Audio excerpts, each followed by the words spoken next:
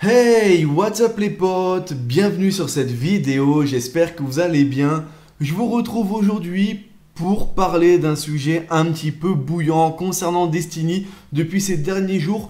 Donc on a pu apprendre que Destiny sortait, enfin Destiny, le Seigneur de Fer, pardon, sortait uniquement sur PS4 et sur Xbox One et que pour la première fois depuis le lancement de Destiny, les consoles all-gen, donc PS3 et 360, seraient mises à l'écart et ne bénéficieraient pas euh, bah, du nouveau DLC tout simplement, donc Rise of Iron en anglais. Alors il y a eu beaucoup de retours sur nos vidéos avec les dions, on a constaté ça. Beaucoup, beaucoup de retours. Alors tout simplement, en premier lieu, j'aimerais vous montrer un screen qui a été publié par Bungie.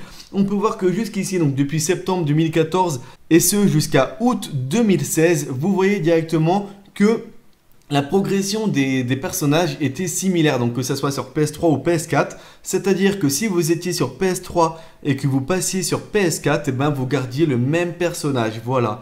Et à partir de août 2016, donc juste avant Rise of Iron, il faut savoir que euh, les progressions des personnages vont être séparées, c'est-à-dire que à partir de ce moment-là, les progressions seront différentes. Vous n'aurez pas le même personnage sur PS3 que sur PS4. Voilà. Donc ça, ça a vraiment créé la polémique. Vraiment, beaucoup de gens sont vraiment mécontents du fait que le DLC ne sorte pas sur les, anciennes consoles. Et d'un côté, je peux comprendre ça, puisque c'est vrai que depuis euh, le début de Destiny, eh ben sur PS3 et 360, ils ont eu vraiment tous les DLC. Et que là, c'est vraiment le dernier DLC de Destiny 1. Et euh, voilà, c'est vraiment... Alors, je voilà, moi je suis sur PS4, donc c'est vrai que ça me concerne pas, mais je suis un petit peu déçu pour vous, puisque c'est vrai que le dernier DLC, vous n'allez pas pouvoir en profiter, et que ben, voilà, ça vous laisse un petit peu sur votre fin. Je trouve ça vraiment dommage.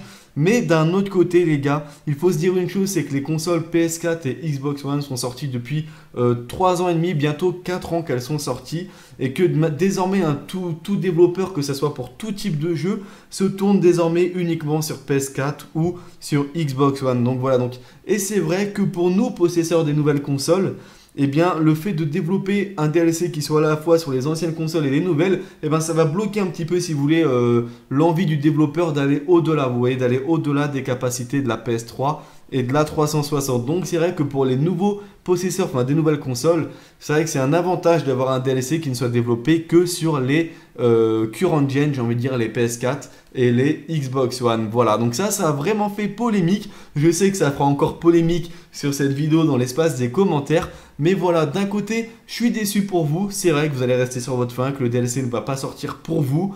Mais d'un autre côté, c'est vrai qu'aujourd'hui, ça fait bientôt 4 ans que les nouvelles consoles sont sorties. Alors certes, c'est un coût. Je sais, il y a des, des, gens parmi vous qui sont assez jeunes et qui doivent demander à chaque fois à leurs parents d'acheter une console, d'acheter un jeu. Euh, voilà, il y a différentes classes sociales également. Tout le monde n'a pas les mêmes revenus. Tout le monde ne peut pas s'acheter une nouvelle console, voilà. Mais c'est vrai qu'aujourd'hui, les développeurs, hein, que ce soit même pour Call of Duty, le prochain Call of sort uniquement sur One et PS4. Ils ont oublié les anciennes consoles. Donc là, maintenant, les gars, je pense que il est grand temps de se dire qu'il est temps tout simplement de se tourner vers les nouvelles consoles, même si certains eh n'auront pas euh, tout simplement l'argent pour, puisqu'ils sont vraiment jeunes. C'est vraiment dommage pour vous, j'ai envie de dire. Mais d'un autre côté, pour nous, les nouveaux possesseurs, il faut comprendre aussi que pour nous, ça permet tout simplement d'avoir du contenu qui soit à la hauteur de nos nouvelles consoles. Et ça, c'est important. Et il faut savoir également que Destiny 2 ne sortira pas évidemment sur PS3 et 360. Si à l'avenir vous voulez jouer à Destiny, Destiny 2 pardon, qui sortira en 2017, il faudra tout simplement mettre la main au portefeuille. Voilà. J'espère en tout cas euh, bah, que, voilà, ça ira. Peut-être que parmi vous, certains vont pouvoir acheter les nouvelles consoles.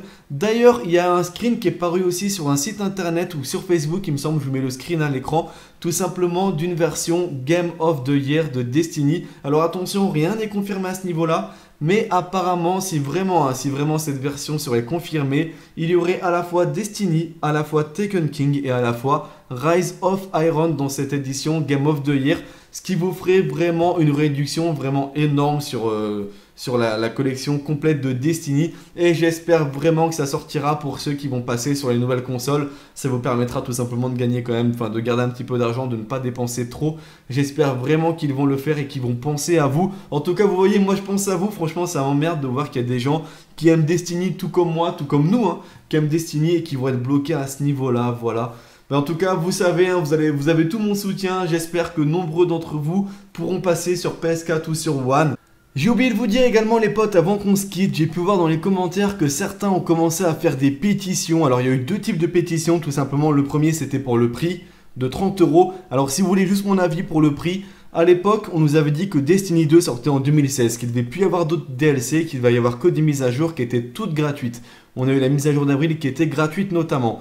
Et Dernièrement, donc en janvier, on a pu apprendre que Destiny 2 était repoussé en 2017 et que pour nous faire patienter, Bungie travaillait sur donc Rise of Iron. Ils le vendent au prix de 30 euros. Franchement, moi je trouve pas que c'est volé pour le contenu qu'ils nous annoncent. Certes, on ne devait plus avoir de DLC payant, mais dû au retard de Destiny 2, ils ont choisi cette stratégie-là qui pour moi, bah, pour moi, c'est un prix tout simplement parce que je veux du contenu sur Destiny et euh, je suis prêt à payer pour. Voilà, donc certains, je sais, comme je vous l'ai dit auparavant, c'est pas aussi facile pour tout le monde, mais voilà, euh, voilà, moi je suis prêt à payer et ça me dérange absolument pas. Et deuxième chose, d'autres faisaient la pétition pour avoir le DLC sur PS3 et 360.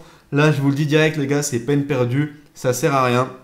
La pétition ne marchera pas, tout simplement parce que ce contenu, donc les Seigneurs de Fer, Rise of Iron, ne peut pas être mis sur PS3 ou 360. La console n'a pas la capacité pour.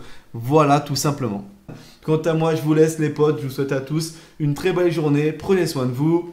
Tchuss